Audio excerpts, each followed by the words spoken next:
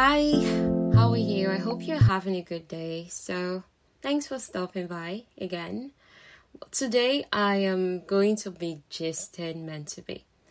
When I picked this novel, I think I just liked the storyline. I'm not sure, but the thing is, most of my novel selections come from BookBub. Like, I receive recommendations every day, like every single day, and at the end of the week, I receive top 10 choices. So I have to make the choice of book I want to read from all those options. So I'm not exactly sure what meant what pushed me to pick this one, but I know it's just like interesting book blobs, like maybe when they write things like, "Oh, this man went to this place, but then he was missing, and this happened." So maybe sometimes, funny enough, is really the basic storylines that attract me, but maybe the basic storyline told in a way that is not too basic, that is relatable. So I think maybe that was what got me about this particular story. Okay, so this one is meant to be. I'm just going to like start talking and then, yeah, so you're with me on this. Anyhow, it starts with Joe. Joe is our lead guy. So he was born in December 1963. By the time you hear 1963, you already get have an idea of the setting of the story. So his mom had him after three miscarriages. So uncle already had that pressure when he was born, low key. Okay, he's a miracle child on one hand, but on another hand, he's like, oh my goodness. Oh, I had you after three miscarriages. You got a chosen one, kind of thing. Like, I'm just being a little dramatic here, but moving on. So, he was named Joseph S. Kingsley III after his father and grandfather. So, do you see his name too? It's not Joseph the one or Joseph the second, he is Joseph the third. He was born into privilege and wealth that started with his great grandfather that was friends with one president like that. President of America, because this was since he set in America. So he, was an only child. So after him, his mother did not have any other child. And then unfortunately, when he was three years old, his father, Joseph II, died in his astronaut's pursuits. So from a young age, Joe had memories of his dad, and then he loved when people talked about his dad too. Because of how outstanding Joe's dad was, people had expectations that Joe's dad, if he had lived, would have become the 37th president of the United States. Yes, the family are like that kind of political family. You know, when you're talking about the Roosevelts, you're talking about the Clintons, you're talking about who else right now? So the Kennedys, and actually they inspira- the inspiration for this story, uh, according to the author. But we'll talk about that on the next episode. So, so anyhow, this guy's dad was people thought he was going to be the 37% of the United States. And when that failed, that dream they had, they pinned their hopes and dreams on a three year old. Like, okay, Joe, the third, when you grew up, you now become that thing your father could not be because he died early. You get that sort of thing. So to make matters worse, his mom often compared him to his late dad, especially whenever he got into any kind of trouble at school. She loves to quote the verse of the Bible that says, For unto whomsoever much is given, of him much shall be required. You know that verse now. So if, if you have plenty talent, we expect that you should do plenty good. If you have less talent, we expect that you should not do all that good. Honestly, this kind of generally puts a lot of pressure on people with talent, don't you think? But anyhow, Sha. So as a Kingsley, Joe had because his name he's a he's Joe Kingsley, yeah. So Joe Kingsley, as a Kingsley, you know that kind of family, that kind of accolades. He had access to the best private schools, private clubs, private bankers, private planes. You know they're trending on private. So he was grateful personally for all the blessings in his life, but he just had one desire to be his own man. Fortunately, his dad's mom, Gary, the reason why she's called Gary was actually because when Joe was small, he couldn't pronounce granny. So he was calling her Gary. So it kind of became a thing for them.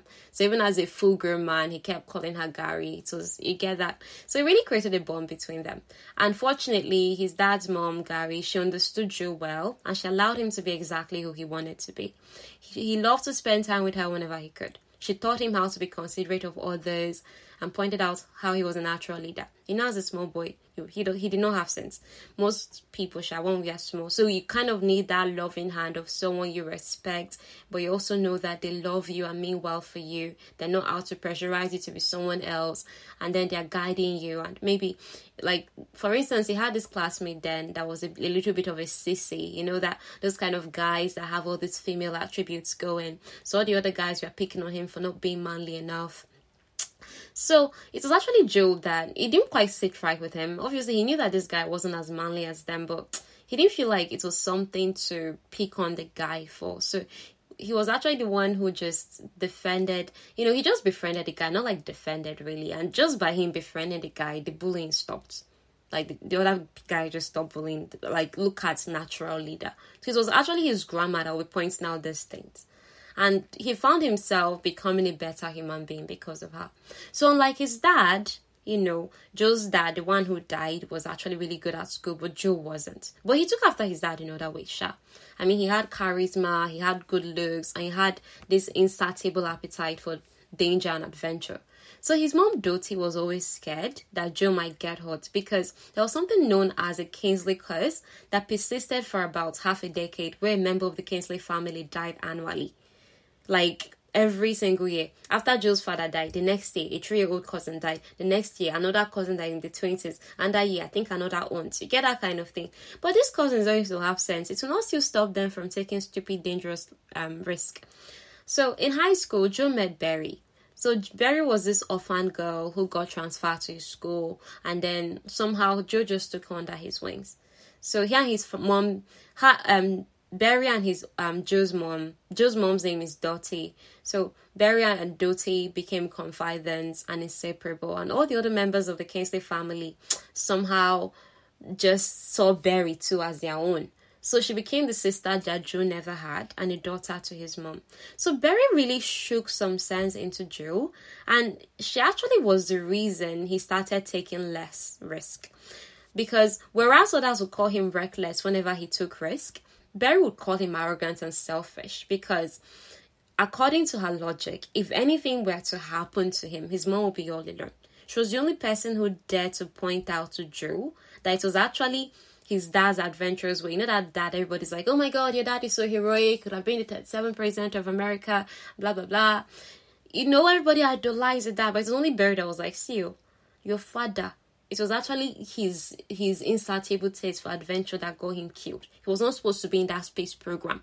He was he begged your mother that it was his let, let her give him one chance, and it was that one chance that killed him. That's the thing. So for him for her to call out that brutal truth, it really helped Joe calm down, like take less risk and all of that. Meanwhile, Kate lost her dad. Kate now is our female lead. So we're now jumping to her story, her background a bit, so that you can see what's going on with her. So Kate lost her dad to a car accident when she was three years old. So that's similar to Joe, who lost his dad when he was three too. So like Joe, she did not have anything to remember him by. Her father wasn't a hero or anything. So no one really talked about him. All she had was a black and white photograph. Her mom would talk about him. Her grandma would talk about him. And they only live with her grandma for a short time. The lady wasn't so nice to them. So the thing now left little Kate. She had to make up stories in her head about the kind of man her father was.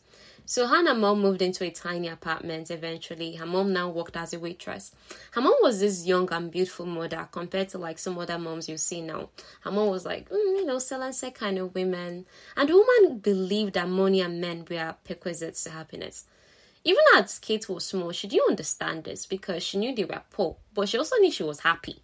So how did the money and the men now bring the happiness when she's already happy? This was her small girl logical. So soon her mother started looking for a new husband, and because of that, the woman started bringing a lot of men around Kate, and Kate didn't like a lot of them. So the only man her mom brought home that Kate liked was Chip. He was a police officer, and she liked him because he gave her a doll, this beautiful doll as a gift, whereas the other men would they'll they'll buy her cheap candies. But this man bought this very adorable, expensive looking doll. It was like nothing Kate ever had. So the thing kind of endeared her to the man or rather endeared the man to her exactly. But and the man eventually became her stepfather. He married the mother and kate hated him because he turned out to be an abuser. Like he beat her mother physically while he would abuse Kate verbally, telling her she would never amount to anything. So, because of this thing, Kate went through severe low self esteem and she was ashamed of her classmates discovering the truth about her family. It's true they moved into a fine house like the mother wanted, fine neighborhood, she went to fine school, but she was facing abuse. So in real life, Kate didn't like boys. Like she was always like, I don't like boys, no no no no. But she has celebrity crushes and Joe, like, you know, Joe Kingsley was the biggest of them all. So from when she was small, she actually had a crush on him. He was a few years older than her, and his entire family life was public. Remember, he's like this American political figure. You know, they're like this American royalty kind of thing going on. So her mom liked to devour the tabloids about the Kingsley. So by association, Kate knew practically everything there was to know about Joe and his family. As a young girl, Kate used to pretend that Joe was her boyfriend. And then he gave her the shark's tooth necklace around his neck that she saw him wearing in one magazine like that. So Kate used to be unpopular in school. Like nobody knew her because at first she was taller than the boys in her class in her puberty phase and she looked awkward. But then, you know, that kind summer before high school, and this fine, this girl goes on, undergoes this transformation. And then, so what really helped her was that during the, that summer holidays, you know, the three months or so, you know, it, it, it goes on for. She practiced good posture, how to do her makeup, how to style her hair.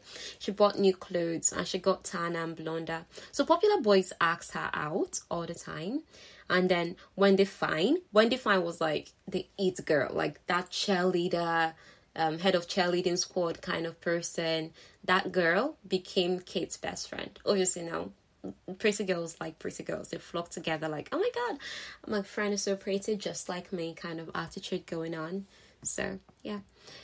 Wendy's parents were well to do. No, cheerleader, head cheerleader, no money, no. Parents used to get money and her dad treated her mom like a queen. So Kate hung out at Wendy's house often, which was like to her being at a nice hotel. Kate never told Wendy about the situation of her family because she didn't want Wendy to pity her. As an insurance policy against any form of rejection, Kate pretended that nothing bothered her, and she made it a rule not to like boys. She followed up in her action because you know this time she's already older. By the time she, when she was crushing on Joe, she was like between ten to twelve. But right now, when she's like about to like 14, 15, high school age, she was like, I can't like boys. Boys are useless. And uh, all this teenage face thing, and you know, based on her what's going on at home. So what she did was that she took down all the pictures of Joe Kingsley shot in her room. So she forced herself to stop crushing on him, stop following up on news about him, not because of him, Sha, but just generally boys. She didn't want to have to, anything to do with them.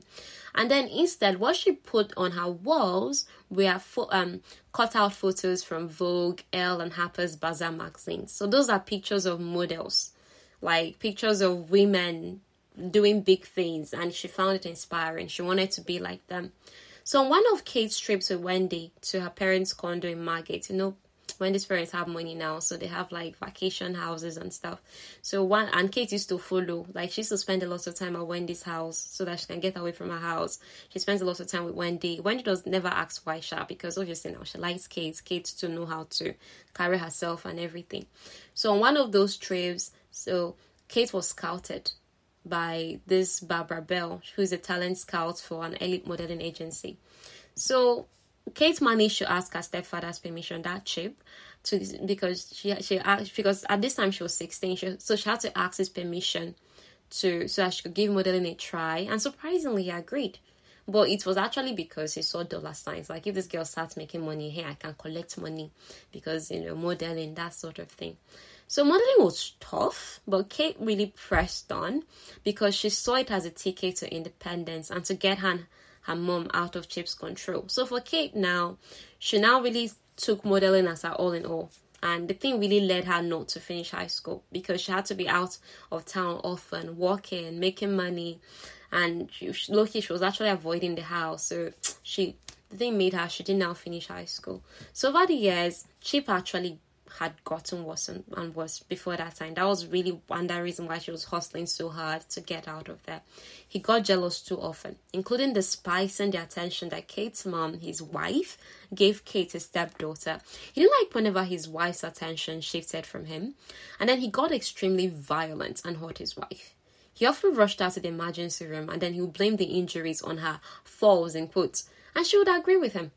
Victims of abuse there. Ah! As for Joel, he got into Harvard because of his name, not his grades, because guy really wasn't good at school.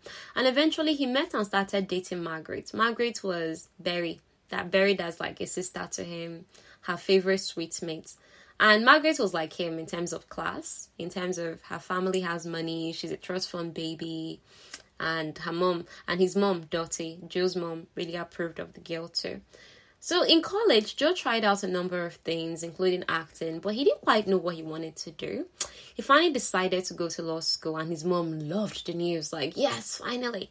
You know, everybody knows that going to law school and stuff like that really helps political careers. It's like one path most politicians, many politicians take. I mean, Barack Obama, Q.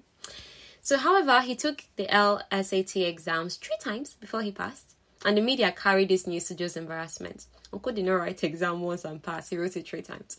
So after they graduated from college, the Margaret girl he was dating, they reluctantly broke up because she needed she joined the Peace Corps to teach English in Malawi. You know, all those kind of classic girls who will still go and do charity work and everything.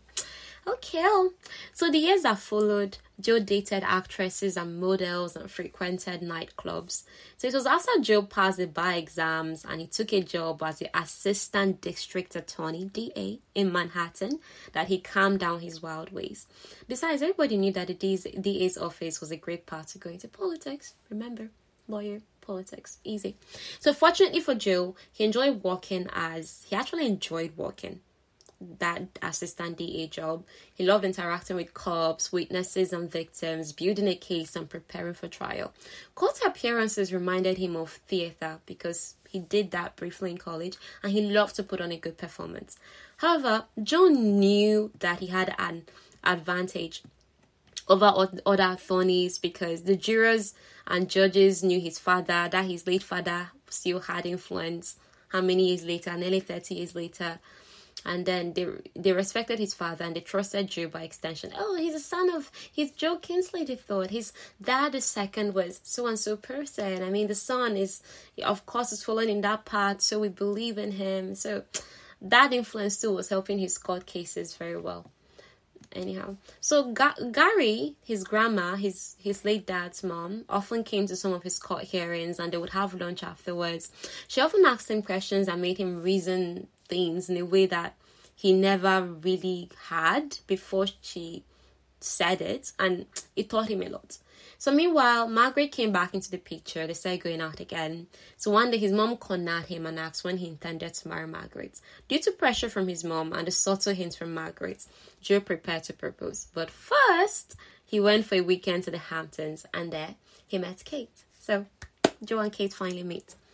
After many years, Kate was has she's she has now become a successful model. She left Chip's house when she turned 18, and it was thanks to a model friend of hers, Eleanor, who was like a sister to her. Eleanor went through much worse than Kate did at the hands of her own stepfather, including sexual abuse and an illegal abortion. Her mom kicked her out when Eleanor came up front and told her own mother, see, see, see what your husband is doing to me or did to me and your mother is like, You're trying to ruin my marriage, get out of my house, and your mother threw out. But fortunately, after Ella suffered for Elna, suffered for some time, she was discovered and she became a model. Elna was the one who convinced Kate to stop thinking she had to protect her mother. Because at the point, Kate was just so caught up in that cycle. Like, oh my goodness, my mom is suffering at Chip's hand. I have to get her out. I have to get her out no matter what. At the point, she was even paying Chip not to touch her mother. Like, paying Chip money. Imagine and her own mother, it's not like she did not have enough money to bring her mother out of there and they would have lived a fairly comfortable life.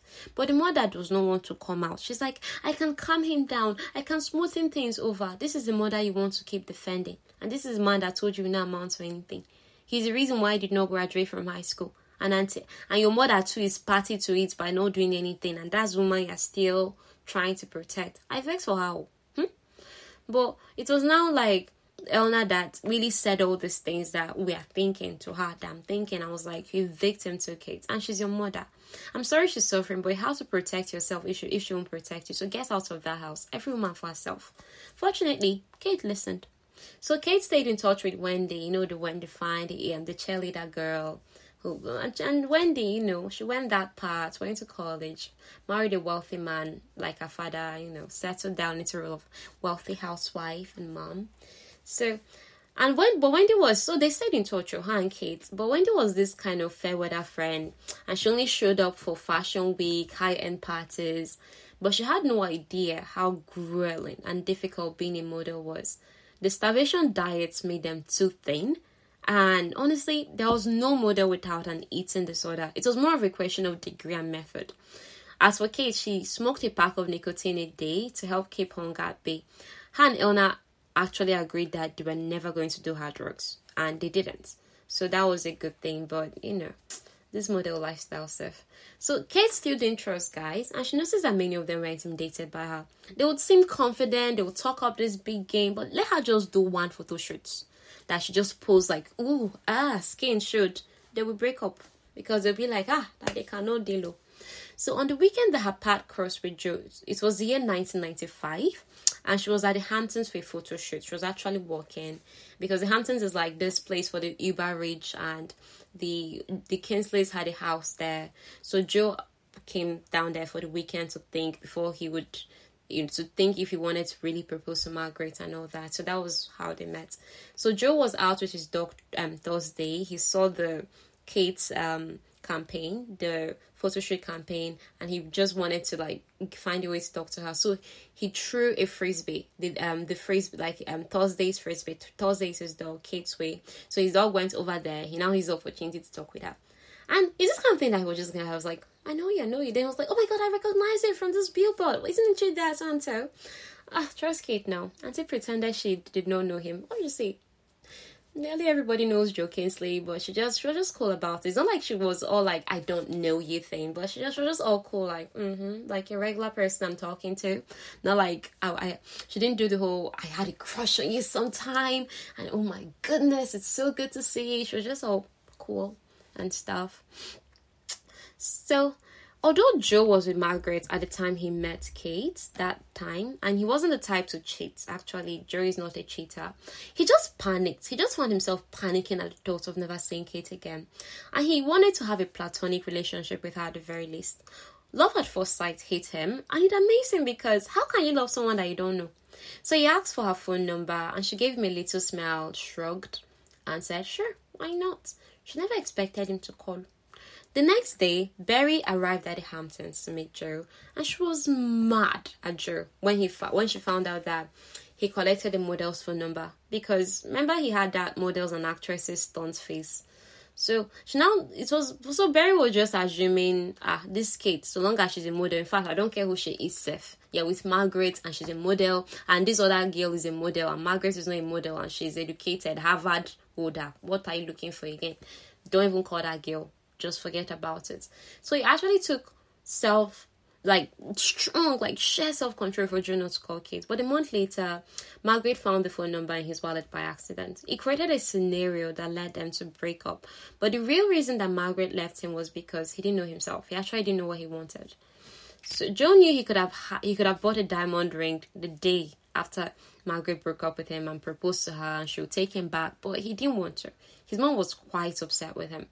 A year later, Margaret got engaged to someone else, and Joe felt bitter because nothing about his own life had changed. He was happy for her. I mean, as happy as anyone can be for an ex they didn't want to marry but loved. I mean, so meanwhile, when Joe didn't call like Kate expected, she stalked magazine articles a few weeks later and found the ones where Joe and Margaret, oh, they were sailing, they were skiing, they were indulging in all these, you know, rich people activities. So she wasn't jealous of Margaret's style. I mean, the girl didn't have style compared to Kate's. Come on. But Kate was jealous of Margaret's, you know, the fact this girl went to school, she's a graduate of Harvard, she has all these credentials, and she didn't, and Kate didn't have any of those things. That was really what got to her. Eventually, Kate left modeling and she started working for designer Wilbur Swift. He was an upcoming designer. He was well known in the preppy world. So the thing really helped her accolades too. She started, you know, building reputation not as a model but as a stylist. And she felt more respected and valued in that role. she was really good at what she did. She gave um, clients this transformative experience, and they really loved her for it. Six months into her new job, Wilbur brought Joe Kingsley up when they were coming back from the strip, and that's why Kate did mention that she knew the most famous man in the world. Apparently, Wilbur met Joe at a party, and Joe mentioned that he knew her. In fact, Joe knew that Wilbur and Kate worked together. So, see, our guy was keeping tabs on Kate, but Kate didn't know. So, so Joe knew that Wilbur and Kate worked together, and Joe actually thought, okay, maybe maybe this is a good time to pop back into her life. I don't know what's going on with him anyway. It's been a year, but so just happened because he happened to run into this Wilbur Swift guy. He was like, okay, you know what? I'm coming in tomorrow for an appointment. So at the time, Kate was dating the soccer player. So when Joe came in for the appointment and dazzled everybody, but obviously not Kate, she just told him, "Oh, I'm seeing someone." So he tried to explain he just let that one aside because he just saw it as the way she said I'm seeing someone and all that, he, he thought two things. She was either lying or she actually didn't take this person she's dating seriously, which means anyhow I can see shoot my shots. That's how he saw it. So he tried to explain to her why he didn't call her, but she waved him off. Like, don't don't worry about it. I'm cool. Joe didn't give up easily. He asked for her number again, but she asked him to give her his that she would call. Well, let's see what she did. Joe went all out to prove he was interested in her. Like, he went all out. He sent flowers with cheesy poetry. Kate still didn't trust them because, oh my goodness, you're too handsome. Your family has loads of money and influence. So she ignored it. I mean, she just was ignoring the guy. The following week, he still sent more flowers, and this time with a funny note. And it's so Kate, the thing prompted Kate to call him, and they ended up having this friendly banter over the phone. He wanted to go out with lunch with her, but she had to travel to Paris for Fashion Week, so she was preparing to go too because she had to stylist and you know design her life. So Joe's response went like, "Awesome! I love Paris. Where are you staying? Maybe I'll show up and say hi. Come on, save money." That you can just pop up in Paris and say hi. oh God, oh this is good. Three days later, Kate arrived in Paris and found out that Joe left an envelope for her with the lady at the front desk of the hotel she was staying at because they actually talked about the hotel she was staying at and was like, Oh, I know the hotel. And then he left something for her there with the lady at the desk. So in the envelope notes, you know, he he was all really chill. Like you know, the letter was cool, and he also left his room number. So Kate convinced herself that this Joe's attitude, you know, his all chill, relaxed attitude was like, yeah, this guy is used to getting what he wants, and I'm not going to be flattered by his efforts because for you to just i mean who does that like what's his level of confidence first of all so she expected he had a backup plan that even if I never call him or check in, mm, that obviously he's Joe Kingsley. There'll be so many women that he can call up and have a good time with and stuff. So, but Sha, she still called him and he was so delighted to hear from her. His response was so genuine and sincere. They ended up meeting at the hotel restaurant for a date. Joe was blown away when Kate showed up in this simple, elegant attire and he just showered her with compliments. In return, do you know what this girl told him? Your suit is nice. Savage. I love it. Because, and that suit was actually what she picked out. You know, when he came in for the appointment at the Wilbur Swifts and he picked up a few items there, the suit was actually what she picked out for him. So for her to tell him your suit is nice is also like a compliment to herself to like, dude, I'm not complimenting you, yo. Your ego is already big enough. So that date was fun because they just talked, laughed, and Kate loved that Joe was playful and humble. On Joe's part, Kate was worth the chase because, unlike many women who, went, who played hard to get but were boring, Kate wasn't. She was actually not that interested in him, and then she was interesting to be with. She spoke French and Spanish better than him, and he was the one with the access to tutors while she learned on the job. By the time he walked her to her room by the end of the evening, he was head over heels. Poor guy. so Kate was busy for three days after that, and didn't see Joe, so he kept himself company by exploring Paris. He found a scarf he thought suited Kate's style and bought it for her. Every day, like every single day, this guy would slip sweet notes under Kate's door. On his last night in Paris, Kate decided to play along with his antics. Before she invited Joe to her room for company, she called the boyfriend, you know, the one that she's not really that serious with, the soccer player, and she ended things amicably. Joe brought the scarf he bought for Kate, and she immediately recognized the designer's hems it was a vintage from the 60s and she loved the pop of color. It was a thoughtful gift that melted Kate's inside because according to Jay, he was like, I don't know your style yet, but I noticed that you mostly wear brown, black, like you wear toned down colors, but then your accessories pop, like your lipstick is red. And so just by observing uh, he had a sense of, okay, I think you'd like you know, this is a scarf as an accessory. So I didn't go for neutral. I went for something with a pop of color because I felt this is kind of like something that you would like based on what I've noticed about you. And that's like so good. Yeah. So they had a good time. Like they just talked and, you know, they ended up having a sweet kiss. Just, you know, kiss. So after Kate returned to New York, they quickly reconnected. And on her first day over at his house, they actually made love. She didn't see the point in waiting since it would still happen. So she's a bad girl. She was just in for a good time because she just felt this whole Joe Kingsley thing had an expiration date. So let me just enjoy myself and, you know, when it ends, it ends. That kind of thing. She knew that backgrounds didn't match. She didn't expect the relationship to last long. So she just didn't feel any need to pretend and drag things out. Like the faster anything happens, let it happen and let's know what we're doing. That sort of thing. So for two months, our relationship consisted of hanging out in Joe's apartment, spending time together, and making love. So Joe knew he was addicted to her. Like he knew, oh my goodness, I love Kate because maybe sometimes when they're together or something, and you know, maybe they just slept together or something, and she wants to go he, he he he mostly feels like can i just hold on to you longer but in his past experiences it was mostly like can this girl leave already? Maybe if was another woman or something. And he just knew that i i like this woman. I, I love this woman. I don't know what it is about her but i just love her. And this was even before they ever had anything sleeping together that happened. So he, he just found himself like I, I want more of this person. So at first, he was okay with them keeping things secret. You know that trail of, oh, I'm in a secret relationship. But after two months, the thing faded. Uncle wanted to like go out with someone, this woman he loved in public, to be seen with her. But she wanted to continue seeing him in secret. She didn't tell him why, but she did this because she was insecure and she thought that Joe's interest in her had an expiry date. If she crashed and burned, she didn't want the whole world to witness that. Smart girl.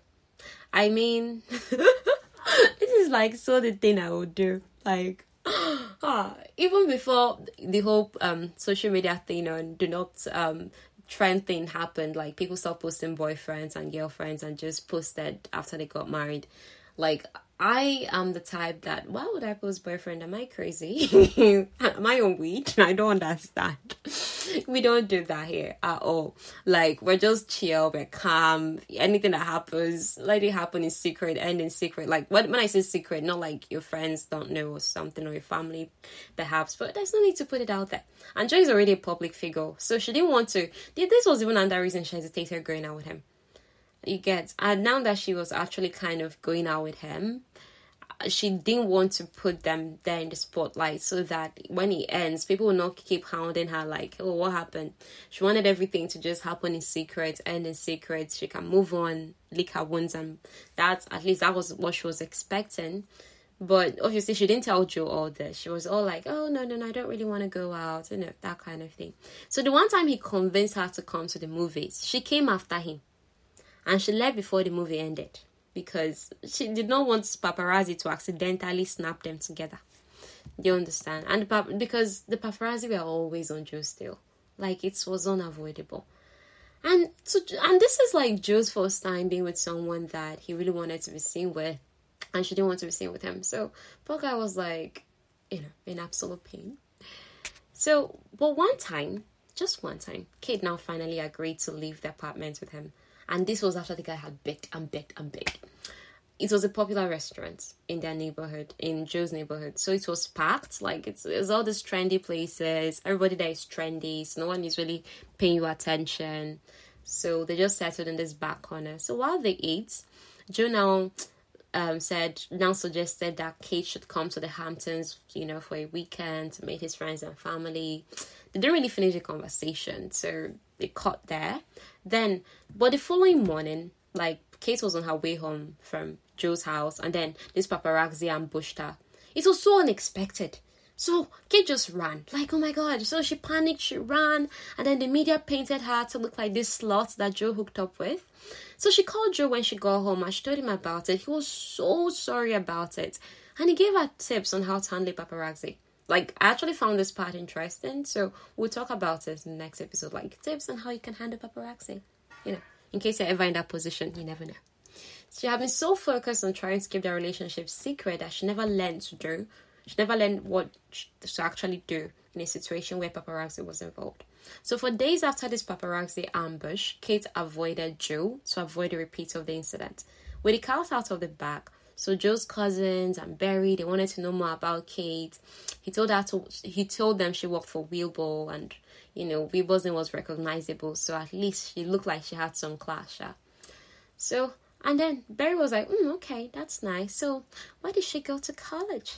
And Joe was like, "That that's that, that's a, that's an elitist question and stuff." So, in general, Joe defended Kate. He spoke so highly of her, and it was clear to everyone how special. Okay, this person is actually special to Joe. He's not playing around here. And when his cousin asked him, "So what about marriage? Is she actually someone you can marry?" He was like, "Yeah, like I told this to myself, marrying this person." and that was like so cool so um now obviously novels like this we know that challenges are going to come up i mean we're, still going to enjoy how the relationship flow would go to how the challenges that will come up the twists and everything. And we're really going to this in the next episode because i feel this episode has gone on for too long. Sorry. Okay so in the next episode we'll finish with the trivia. So thank you. I hope you enjoyed this